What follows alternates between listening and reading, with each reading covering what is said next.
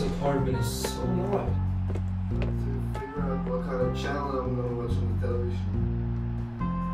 This XD. Knocking on the door. What the hell? Who could that be?